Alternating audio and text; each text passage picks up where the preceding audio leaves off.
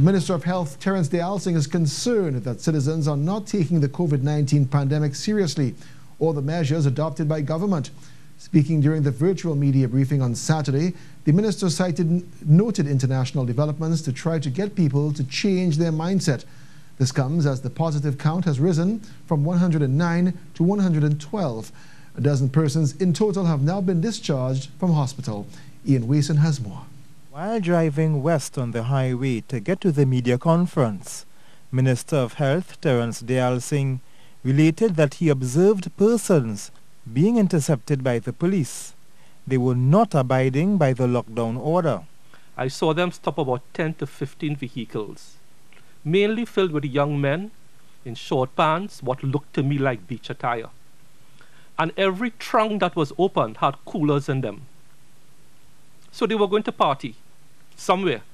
He also condemned the COVID-19 party that a team of officers led by Commissioner Griffith shut down in Wallerfield last evening. That one act of recklessness is what will cripple our healthcare system. Because it takes one person to be reckless to infect 10, and then 10 infect a 100, and a 100 infect a 1,000. To drive home his point, the minister related that a foreign newspaper in Italy printed 13 pages of death announcements. He also stressed the need to stay at home, revealing an isolated Amazon tribe in Brazil reported one death. Dr. Avery Hinds warned citizens against dropping the ball. We cannot under any circumstances, take the position that, well, we are young, I'm 20, I'm 30, I'm 40, and therefore I am healthy and robust and will not be badly affected by a COVID 19 infection.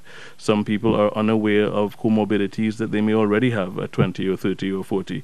There are persons who do not know that they are hypertensive or do not know that they're diabetic because they haven't yet been diagnosed.